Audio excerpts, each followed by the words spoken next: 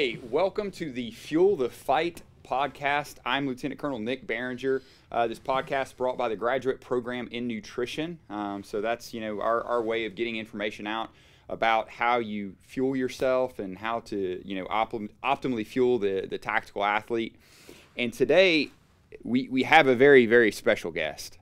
We we have I would even say the the father of this podcast, uh, First Class Christopher Bullis, because uh, you know when I first got here to the AMED Center in school, I heard about an individual down at 232 running this gladiator program, just absolutely crushing it. Um, you know, I, I, would, I, would see stuff uh, from Alex Moreau on Mops and Mows. Um, on Instagram, you know, about 232, just absolutely crushing it. Uh, got to meet this individual um, out, outstanding human, uh, doing great things down there, doing the holistic health and fitness program. He had me on his podcast, and from that discussion, this podcast was born. Uh, so, so I, I, have to give him credit. Uh, so, without further ado, welcome.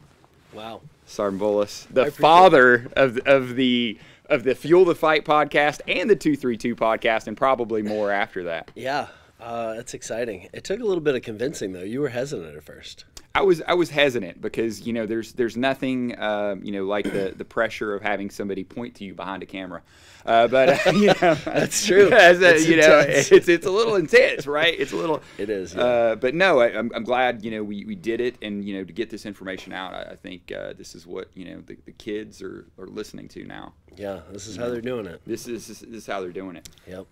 Um, so where I want to start off is like, can you tell me your army story? Like what you know, what brought you into the army? Um, you know, what was that like all the way to becoming a drill sergeant now here at Well, it's been it's been 19 years. Uh, so it started back in 2000, actually 2001.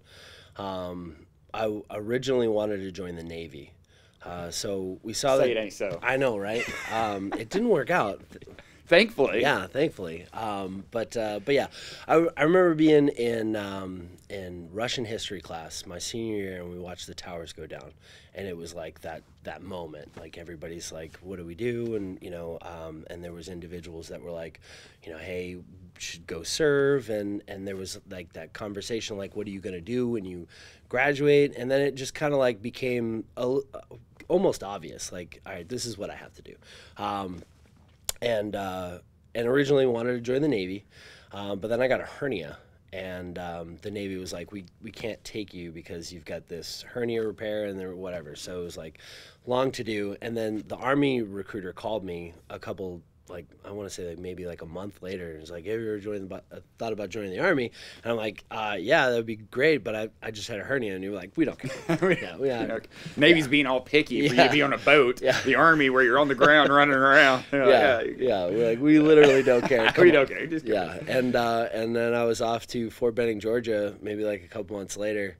Um, and uh, and yeah, that was in 2003. I did uh, AIT and um, and and combat medic training. I went to Korea, uh, came back from Korea, and then I was in Fort Lewis, where I think that that like being in Fort Lewis, being in the Stryker Brigade, I think that really solidified it for me. Like, I love the Army, and this is where I need to be, and, and this is what I need to do. Uh, deployed uh, for the surge in Baghdad.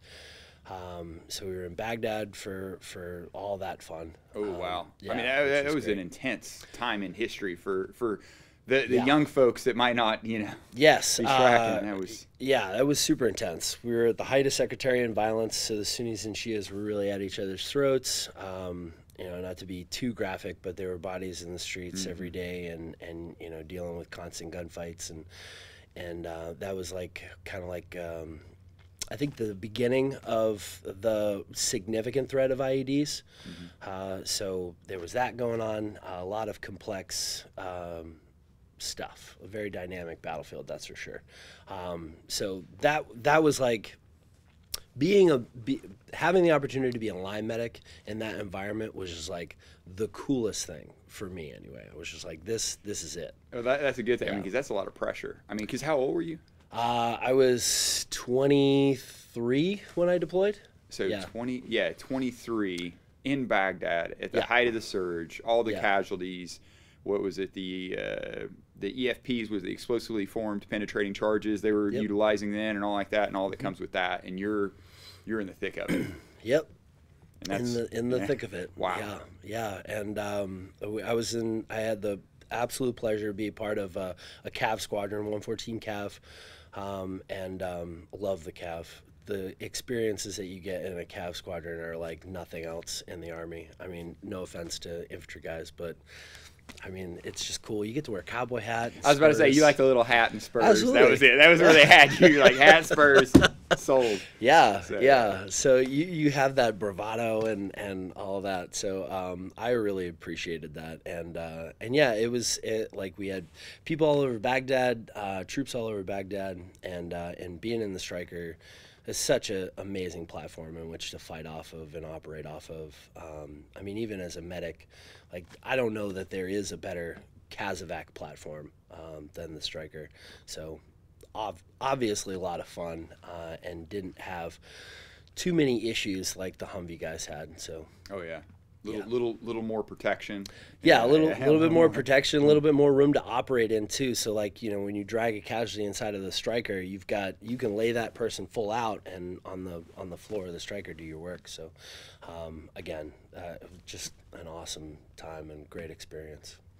Uh, and then I just got stuck. We just kept deploying um, because it was just the thing that everybody did um, in that time frame. Is just we were back to back to back. Uh, so did another deployment to Iraq, then immediately went to Afghanistan, uh, and then left Fort Lewis to come to be an instructor uh, or an SGL small group leader at the Advanced Leader course at the NCO Academy here. Uh, did three years there, then went to become a platoon sergeant in Fort Bliss, um, and uh, again in the Cav, which super awesome experience. Uh, and then came here to be a drill sergeant. So that's kind of the whole thing that brought me here to being a drill sergeant. No, that's that's a lot of a lot of great ex- experience, especially as a Yeah. medic. Yeah, coming into this. Yes. Um, so so what led you to H2F? Like how did how did that come about? Uh, so kind of in bits and pieces. Um, so I, I think I think it's pretty obvious that everybody uh, when they enter in the military get that like uh, physical fitness experience and um, as a medic, uh, especially in the beginning when I was a line medic, there's that heavy like uh, influence to be like in real good shape because you're the guy on the ground that's got to carry everybody and you got to carry all of your equipment and you got to also keep up with the line troops. So um, I had a platoon sergeant that just like had it in his head that the the line medics were going to be the best version of whatever who you were supporting. Like if you were going to be a line medic, you were going to be the best Cav scout. And by the way, you're going to be a line medic. Um, that was just his mentality. So when he put us out into um, troops to support platoons, it was with the understanding that you're going to learn everything there is to know about 19 deltas and obviously you got to be in really good shape to do that.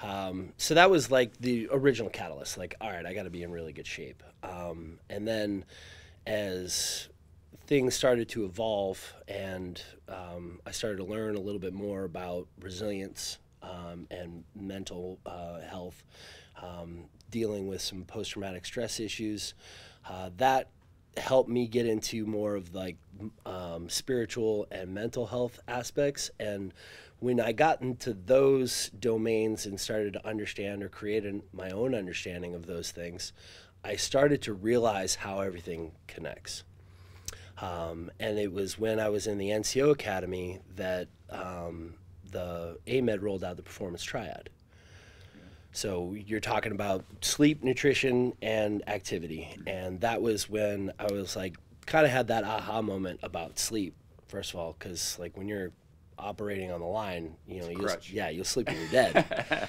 um, yeah, and you're like rodeo watch and, and guard and all that stuff. It, uh, yeah, so it's like you'll sleep when you're dead. Um, but Plenty of um, Rip Its. yeah, Rip Its for days, just chugging, and you're good to go. Um, but uh, but yeah, so that that was when I realized that uh, you know, hey, uh, sleep has a significant impact on your performance, uh, especially when you're an instructor. Everybody's looking at you, and you're teaching all day. You really got to be on it. Um, so that was like, all right, sleep, and then I got to make sure that I hydrate, and then that's kind of where it all like clicked. Um, and then when I got to being a drill sergeant, is when I realized how much structure is required. Because when you're a drill sergeant, your day, like your life, is a drill sergeant.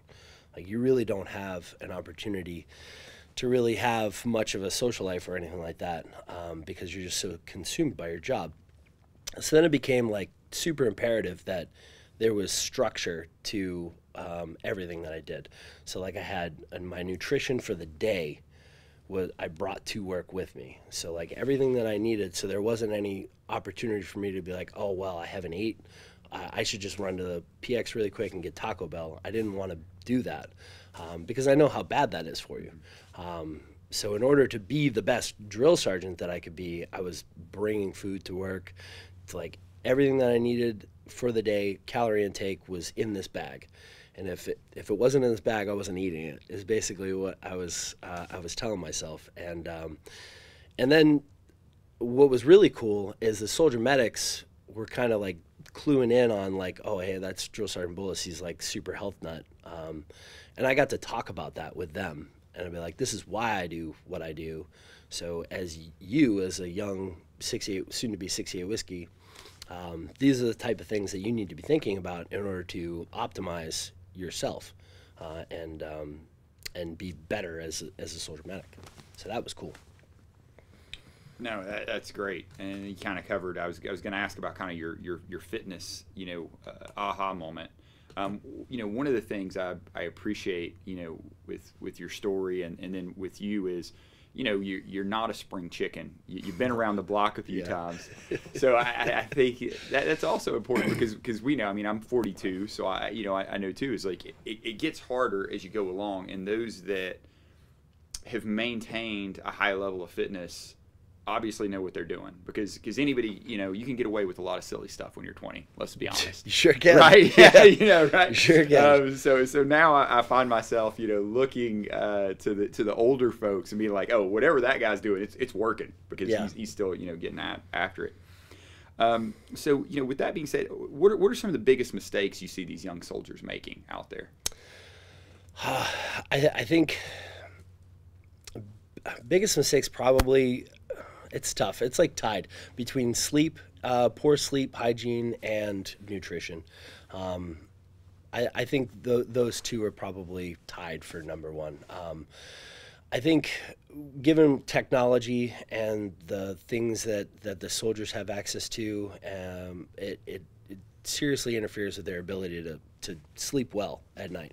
Uh, so you're on your cell phone, it's like right here uh, up into your face while you're in bed and you're just like scrolling through. So like all of that is just like in your face, uh, and you're being stimulated by that. So you don't realize like yeah, you might feel relaxed, but your brain isn't. The running through all the um, uh, processing of what you're looking at and you know all dopamine and all the chemicals that are being produced it interferes with your ability to relax. So you're doing that and then you're like well why haven't i fallen asleep yet? And then next thing you know it's like three hours later and you're only getting like four hours of sleep a night and obviously everything that comes from that and uh, expecting your body to perform well the next day.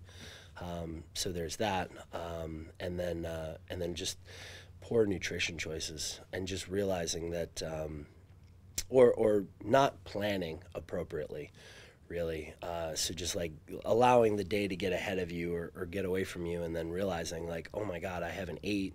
So I'm gonna jump on something quick, and then that quick thing is like Domino's or Taco Bell and, and stuff like that. Yeah, sure, it satiates you and makes you feel good in the moment because it satisfies your hunger, but it's not doing you any favors in the long term. Um, and you know, obviously, you would be able to tell us all about that. Well, yeah, well, and then, and then the fact that tying it with sleep is is a lot of times, you know, the, the research has shown when we don't get enough sleep, we look to food. Yeah. So then it, it triggers the overeating and yes. yeah, that, that kind yeah. of thing. I, I learned that uh, that uh, tired brain wants sugar. Yeah. And like you find yourself like just really like when you're tired, you're just like I just want like cake or candy. yeah, yeah. And I don't like I didn't understand what that was all about, and then figured out like oh well that's because you're tired. You're tired, and then that also lowers your willpower too a little Yeah. bit. So you're just you know. Yeah, that's yeah. true. So so yeah. So I could say you know sleep and then you know the poor nutrition choices from it. Um, you talked a little bit about technology, and so I'm, I'm trying to get uh, more spun up on that. Um, you know, on the gram. So so what what fitness influencers? Because I know you're you're social media savvy. Um, I, I look to you. Yeah, I look to you. you know. And so I know that this is what the young soldiers are doing. This is where they're getting a lot of their information from. Yeah. Um, as, as I talk to them, even even my students, what fitness influencers do you follow on Instagram, if any?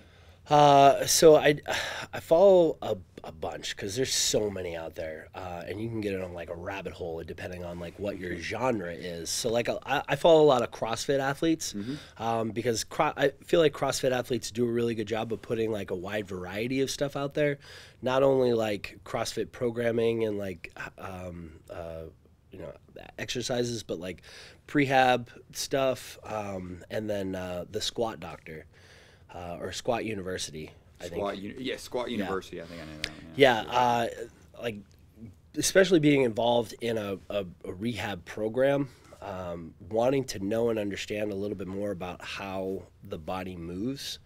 Uh, and body mechanics and, and what to do from a rehab perspective because I, I mean i'm not a physical therapist but here i was handed this opportunity to rehab soldiers.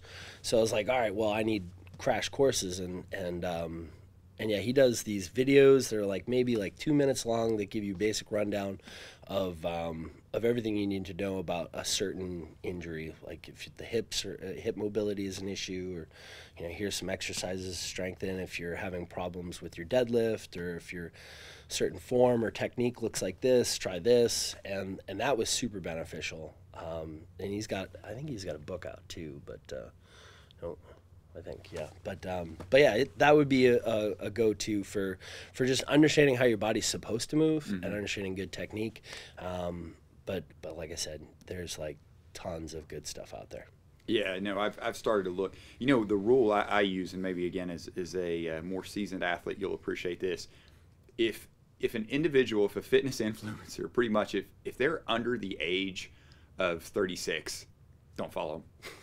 I don't follow. I don't because because I yeah. just I'm like I'm like maybe you've gotten away with you know, but Yeah. it's like I, look and like all the individuals I kind of look to are like 40 and up, 50 and up. Um, like uh, you know, a guy like Stew Smith. Like you know who I'm talking about? I don't know. No, um, uh, Navy SEAL still trains uh, future Navy SEALs at the uh, the Naval Academy, and I mean he's, he's got to be in his fifties. I, I don't know, but like still like crushing it. Like every morning, like he's posting like out there working out, like still doing. So to me, I'm like either he's a mutant or he knows what he's doing. I'm gonna assume he knows what he's doing, right? He's still, you know, because Yeah. he has. He, you'll see like a day he'll just like post. It's like I'm doing mobility today. I'm doing a light, you know, you know, cool down, you know, that sort of thing, recovery Yeah. day. Um, so so that's that's my rule of thumb. So I didn't know if you had like a filter, so that's why I was. Uh, I actually, um, I, I'm more into uh, kind of mindset influencers, Mm-hmm. uh, individuals that are out there just like super disciplined, that are just always pushing themselves. So like David Goggins is phenomenal. that, yeah, that's Um, and and Jocko Willink, he's Yeah. another really good one too. Um, but like, I really feel like David Goggins is like tapped into something super special. Um, and uh, and whatever it is, like I, I'll listen to something that he says, and I'm like, you're right. I'm not doing enough. I need to go do something else, like right now. Um, and and that's that's been uh, something that I've been getting more interested in is is that mindset. Like, what do we need to do in order to tap into our like to or or what do we need to tap into to become more disciplined? So that we can get after the things that, that we need to get after, and, and not necessarily just fitness, but like your day to day routine.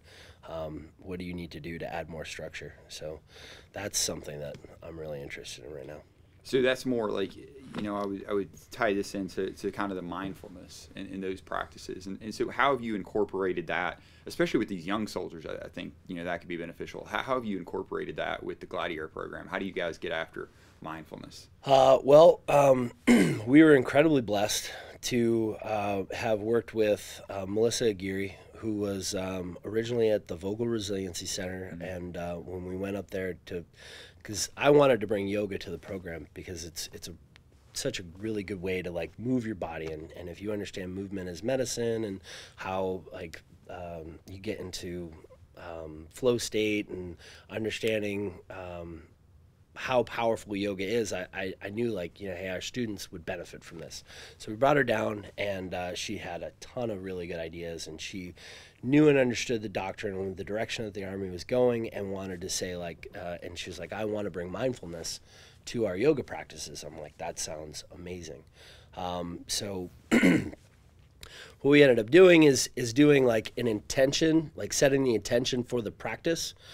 So just having everybody understand, like, hey, this is what we want you to focus on, whether it be like, um, uh, I think she has a sleep practice, like helping understand sleep, uh, understanding like uh, hip movement, um, core development, like whatever the intention of the practice was, is what you want to focus on. So as you go through the movements, that's what you're focused mainly on. So it's kind of like you get into that meditative um, state a little bit. You're, trying to declutter your mind uh, and focus solely on on that one thing, uh, and then after you get into this. Um, down regulation is what you would call it and you just sit there in stillness with just the understanding of what you just experienced to just kind of like relax and basically get ready for whatever it is the next thing is so you're not bringing too much energy or not enough energy, but just making sure that you spend that moment with um, and just be mindful and just pay attention on purpose.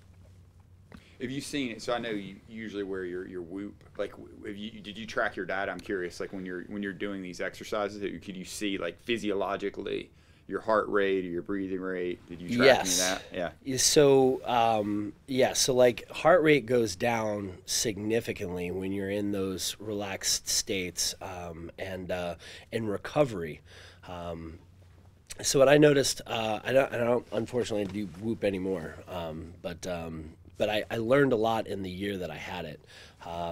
And uh, understanding what I needed to do in order to be better at recovery was important. Um, I knew that I was going to get strain, like, right. regardless. You know, yeah, if you yeah. do CrossFit every day, you're going to get enough strain in your body. Um, but um, but maximizing the amount of recovery because again, we're not spring chickens 38 yeah. so uh, i got to be mindful about how well i recover my body so that i can continue to do the things that i want. So when i spent about like 10 minutes just like chilling and allowing myself to breathe um, that's when i was able to get a lot more bang for my buck in terms of recovery especially at night. Like when you get ready to go to bed be intentional about how you go to sleep um, and just spend as much time in uh, in like a relaxed state whether that is like listening to meditative music uh, which I got this Spotify playlist, um, yoga meditation. It's like the first one you click on.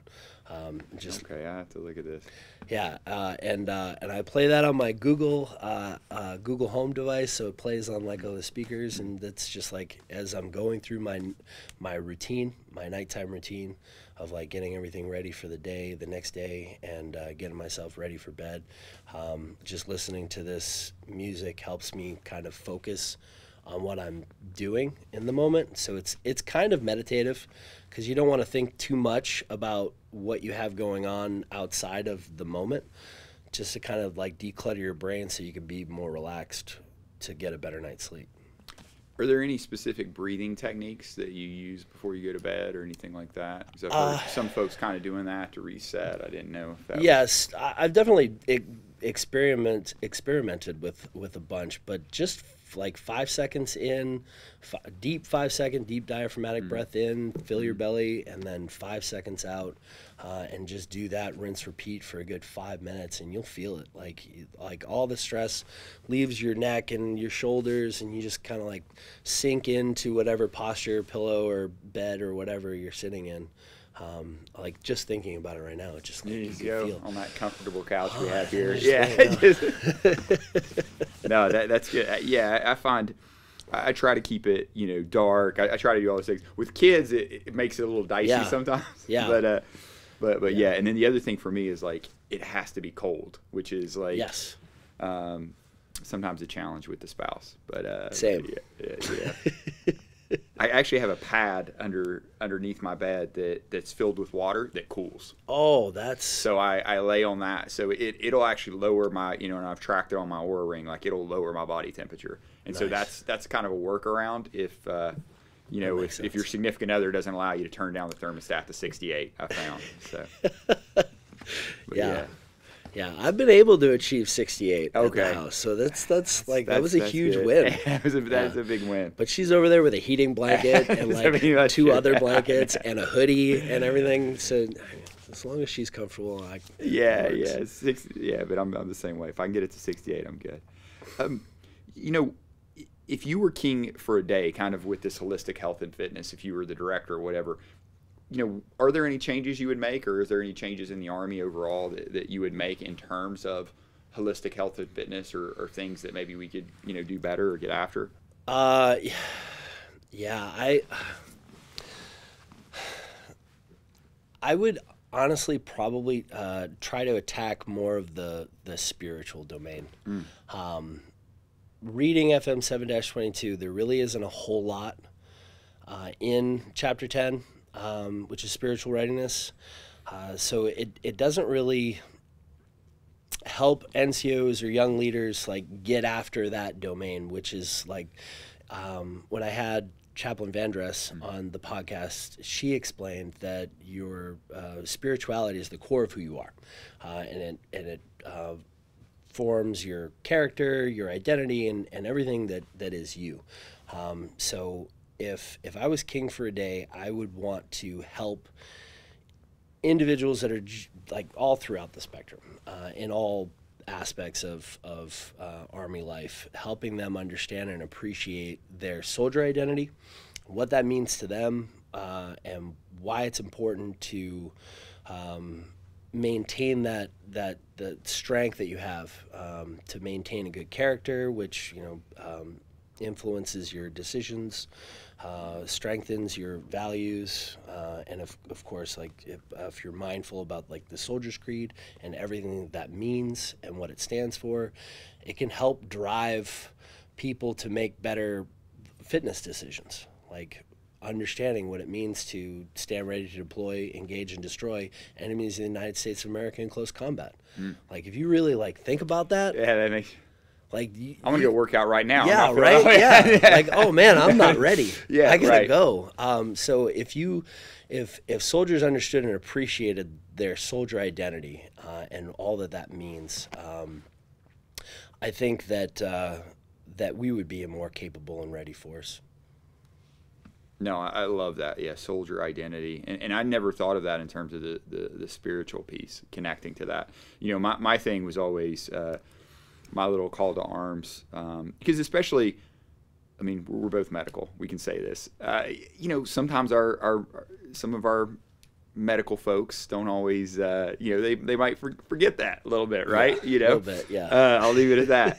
and and so you know, my, my challenge would always be like, hey, you're either an asset or liability. It's Yeah. binary. There, there's there's there's no in between.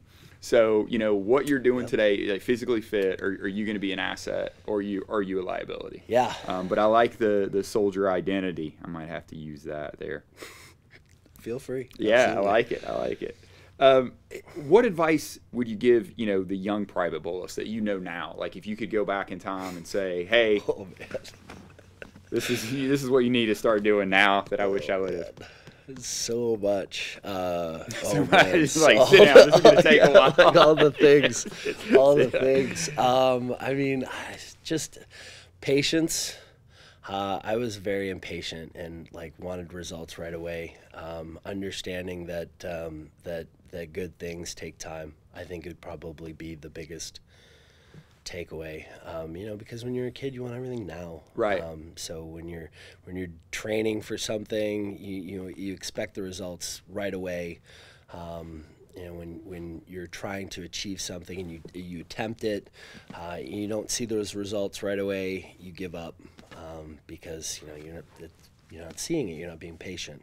Um, so yeah, that's that's probably would be the biggest takeaway. Um, just be patient, trust the process, um, and uh, and you know good things will come if if you just keep working, putting in the steps, and just keep going over and over, and just maintaining that discipline. That's powerful advice. Hopefully, everybody's, you know, you got your New Year's resolution.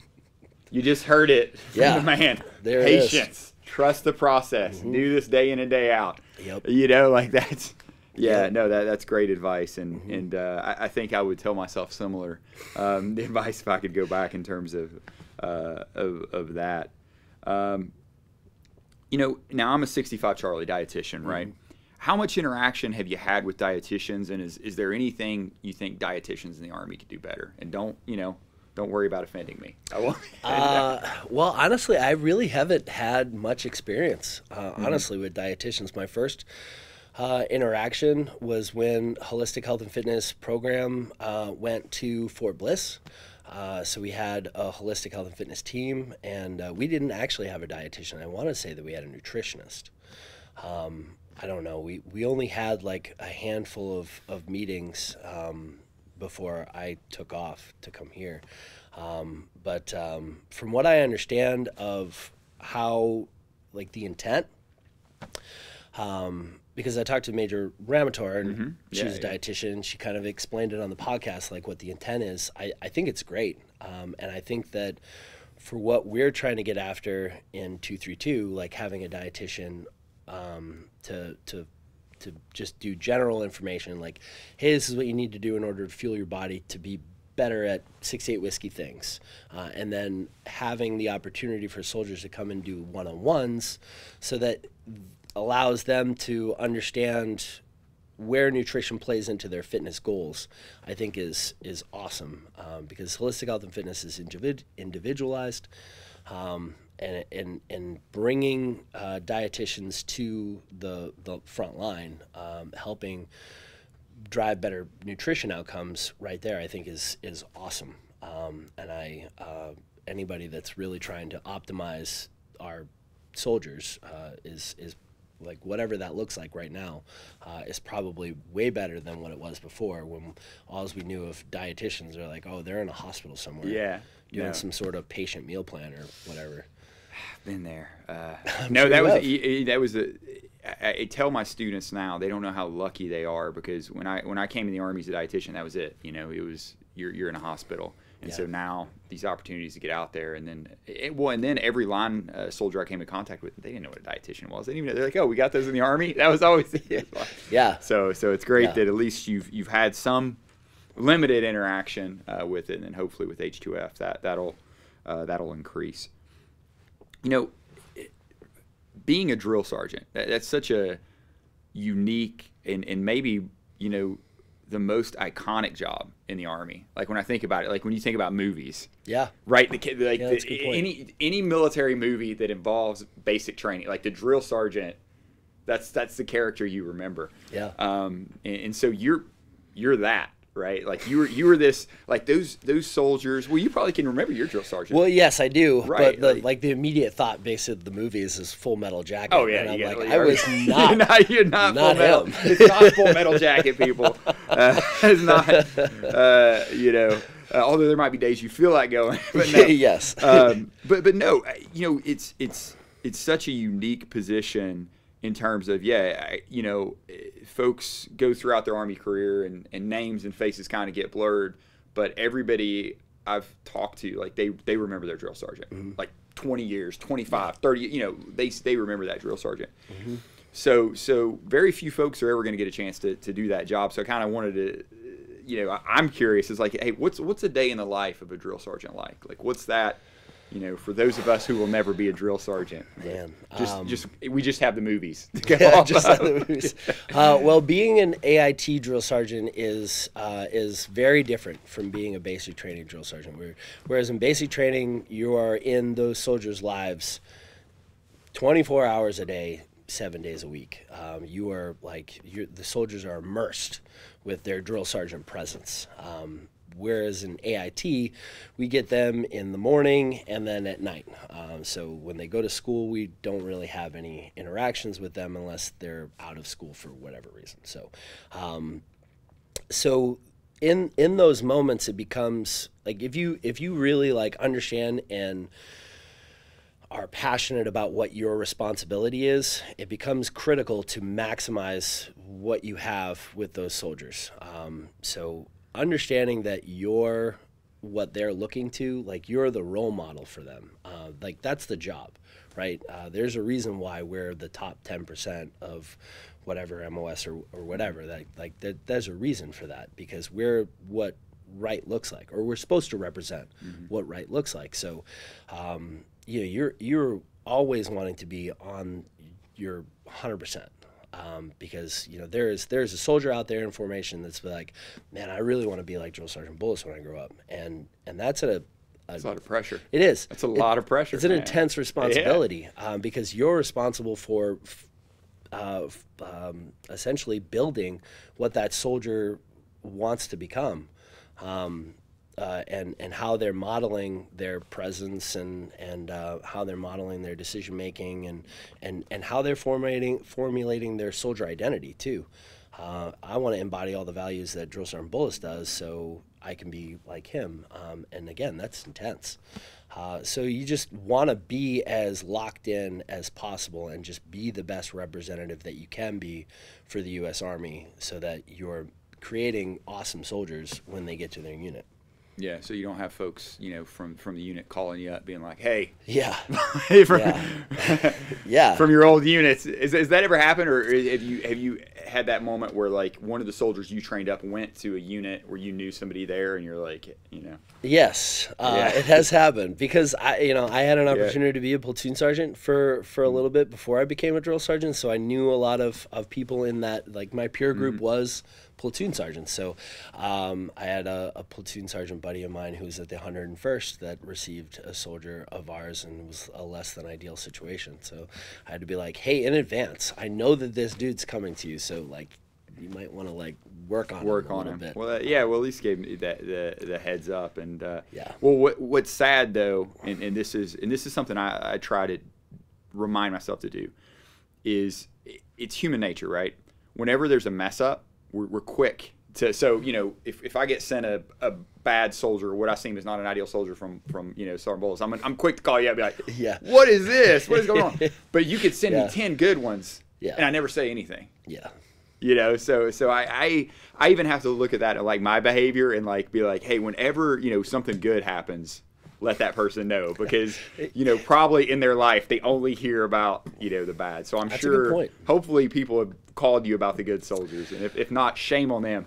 You should call him if any if any platoon sergeant right now that knows this man you've got one of his soldiers. Foxtrot two yeah, two two. yeah, Foxtrot two three two. Call him and and say thank you, thank you for training my soldier, um, because yeah, you probably don't get enough of that. So No, we we did have some good ones, um, and um, and now uh, you know because uh, some the good ones want to reach out. Uh, Right. to like thank you for for what you did and, and everything like that which is which is really cool. Because then you get to see the benefit of what you the work that you put in.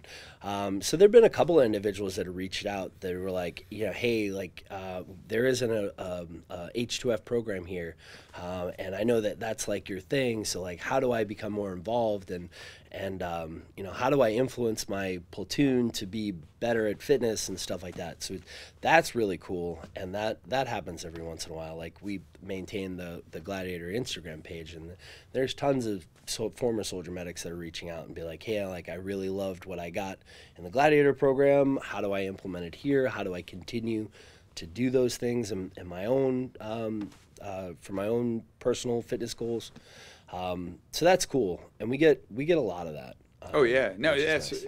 Alex Moreau at, at, at the Mops you know he talks about your program as being a model for for the Army.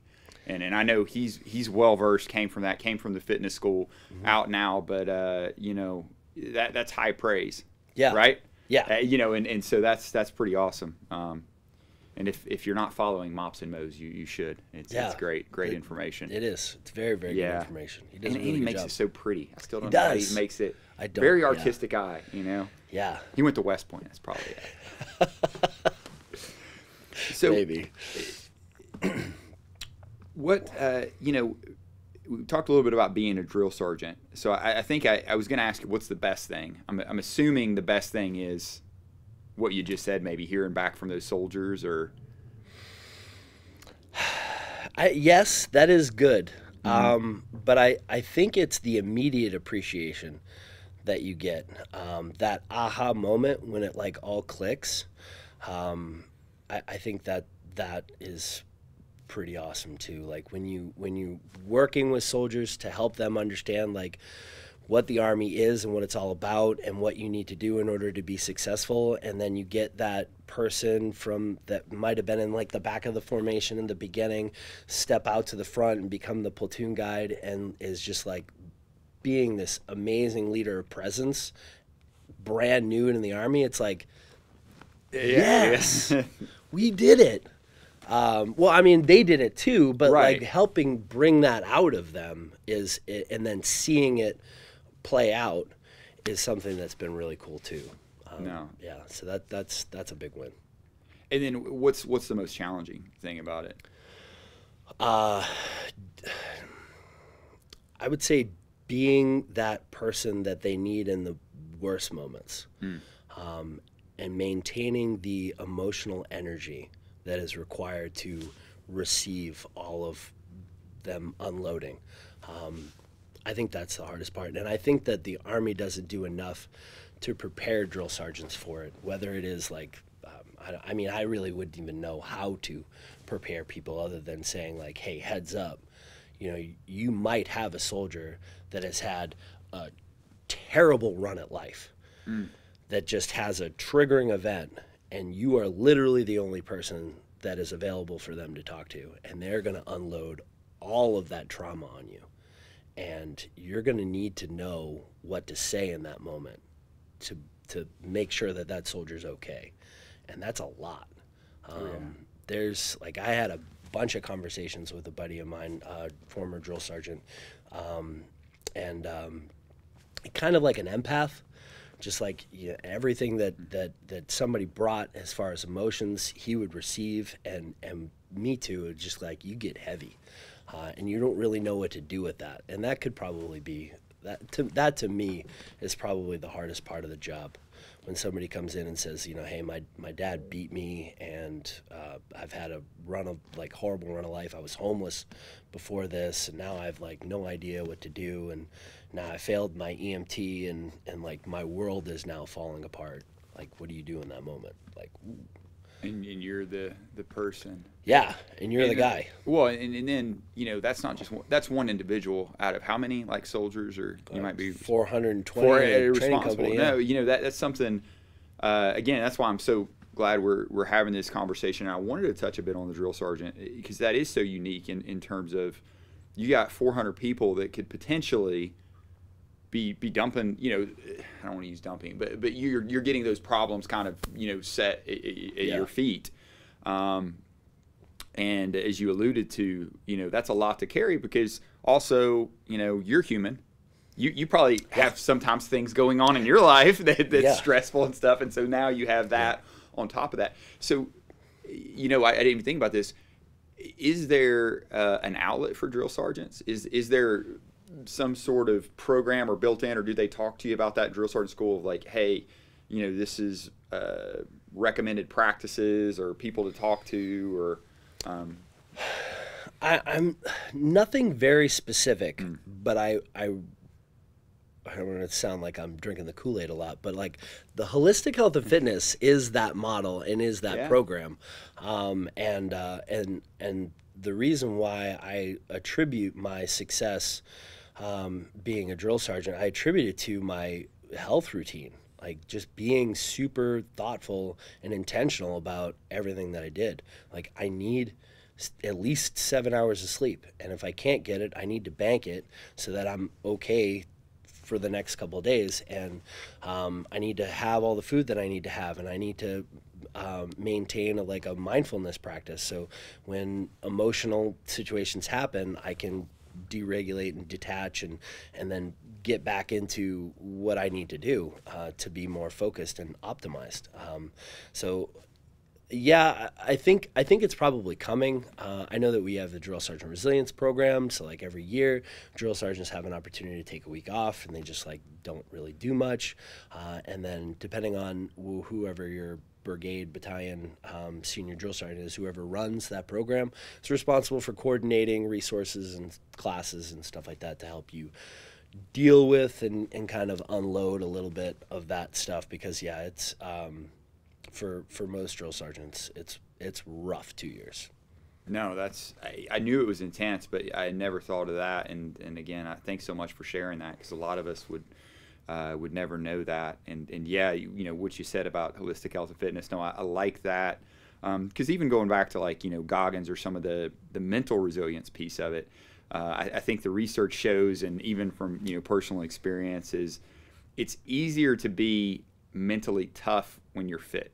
you know, like when you're, yeah. it's, it's, it kind of, it, it helps with that. Mm-hmm. Um, mm-hmm. Whereas, you know, moments where you're out of shape or stuff like that, that, that little, maybe I should just quit, you know, kind of comes in yeah. uh, a little bit more loudly um, mm-hmm. than when, hey, in your peak top physical condition, you know, even when the going gets tough, uh, you kind of have that, that extra drive. So, yeah. No, that's, yeah, if you're not taking care of yourself and your nutrition and, and everything like that, it's it's really easy to, to just, just roll over. Yep. Yeah.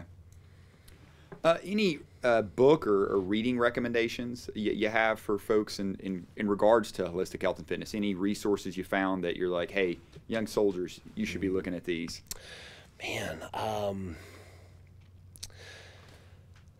I recently read uh, Sebastian Junger's Tribe. Uh, and that's not necessarily holistic health and fitness, um, but but it it helps understand the community uh, and why that's so important. Um, so I'm getting ready to, to retire. I got less than a year, um, well, a year left in the army, and um, and thinking about that, like the community that I've been able to surround myself with, um, has been pivotal to my success. Uh, and and when you're looking at in the future, like not having that, mm. you know, that that's that was like a ooh, what do I do? Um, so reading a and and reading that book tribe helped me better understand why community is important and and why i needed to be seeking it out. And and then also um, he's also the guy that did restrepo mm-hmm. uh, which is an amazing documentary. And and um, and you just like I, I really like that stuff. Again like soldier identity type things. Like what format or what um, uh, what encompasses my soldier identity and, and really putting a lot of that into um, uh, reading material, putting that in, in, the efforts into that and figure out what that is. No, that's that's great. Yeah, I've seen Restrepo. Have not read Tribe. Now it is on my list. I read War. I think you wrote right. Junger. Yeah, also wrote War. Uh, but, but that's a great book. I love, you know, you mentioned community and about having that and surrounding yourself with that because also I, I feel you know, kind of a message out there uh, for for young soldiers is that works both ways. So also be careful of the community. You know, look at the community you're surrounding yourself with and, yeah. and what they're doing because you become the average of that as well. So, yeah. you know, choosing that uh, community um, correctly. But then it, it is really important. And, and I, I've have you know uh, friends who've gotten out of the army and just like you said, it's it is that struggle sometimes folks aren't prepared for. And you have this identity, this soldier identity that's been your identity. You know, I'm, you know, Sergeant First Class Chris Bullis. I'm a soldier. I'm a drill sergeant. I'm a medic. I'm this. And then the day you you walk out of the army, that's that's no longer you know you guys God, what do I do and, and, in, and, in, some aspects you know not to be over you know the, the, civilian sector especially like looking for a job my wife went through that process is like they don't care yeah. Like, like I mean, you know, hey, thank you for your service, whatever, but that's not going to get you a job. No. It's you know, and I feel like some soldiers are in that too, and so there's this thing. So it's great that you're, you know, that you're prepared for that, and you're you're mentally, you know, kind of um, already planning, um, and and so that's that's good. Yeah, you stay sharp. Yeah. Uh, where where do you see these young soldiers going for nutrition advice? Like, what, what's their go to?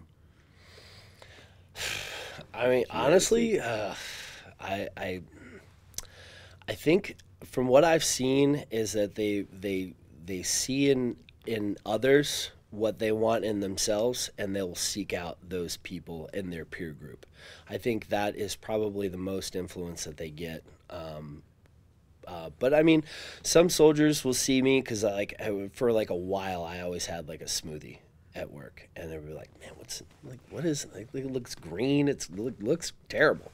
Um, so that, like, and then that would initiate a conversation. That was kind of like the point. Um, if I have a smoothie out there, then I get to talk about how chia seeds benefit gut health and all that stuff. Um, uh, so uh, th- that happens too. Um, but uh, I mean, there's just unfortunately there's almost too much information out there. Um, so you you kind of become consumed by the fact that like oh there's too much, so it becomes intimidating, and you're not really sure where to go.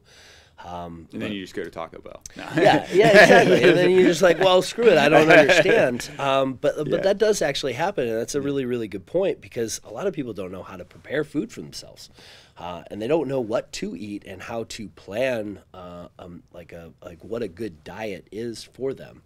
Um, and there's so many um, uh, fad diets, and we talked about that on our podcast. Um, and it's not necessarily the ones that are most beneficial for, for soldiers. And of course, you explained why keto is not necessarily the greatest idea um, for people to explore, but uh, that's the kind of influences they get.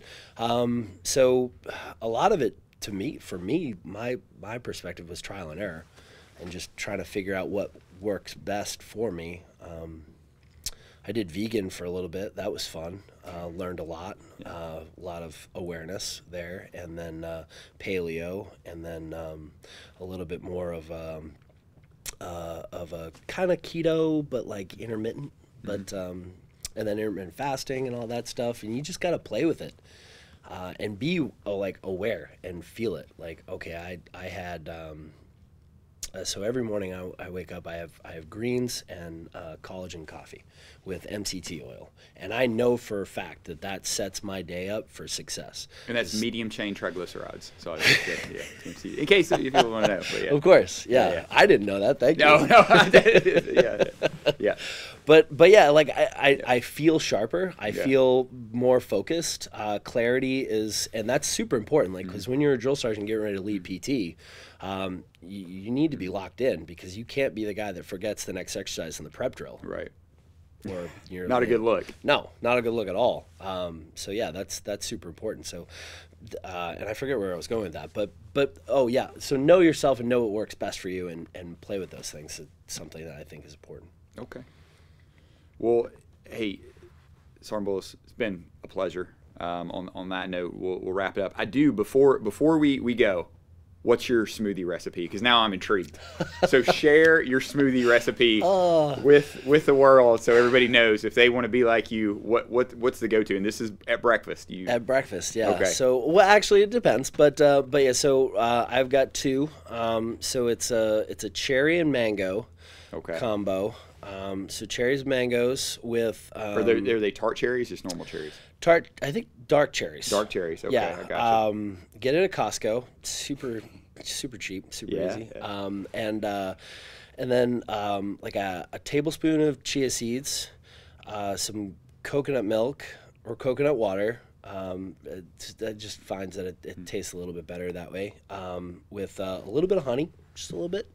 Uh, and uh, some Sun Warrior protein or whatever your like Hmm. vanilla or vanilla based protein choices and and that's pretty much it um, I like it. You got some. Yeah. You've got some carbs in there. You've got some fiber. You've got some good fat. You've got some anthocyanins from the cherry. Some antioxidants uh, in there. Um, so yeah, no, that's a great way to start the day. I endorse that. so so thanks so much again for for being on the podcast. It's been an absolute pleasure, and, and thanks for actually starting this podcast because again, this was this was. Uh, your idea, you just had to make me see it, uh, and and I appreciate it. Yeah. Um, we'll probably have to have you back on because uh, I've, I've, I've got even more questions I jotted down as we were talking, but uh, we'll wrap up for today. Um, thanks for, for listening to us. Again, if you're a future dietitian out there, you want to learn how to be a 65 Charlie, go to the Baylor Army Graduate Program in Nutrition. We'll put that link at the bottom. If you want to be a 68 whiskey, I'm sure we can put the recruiter, you can find your recruiter out there uh, Yeah. to, to do that as well. Um, but until next time, uh, I hope everyone has a great day. Thank you.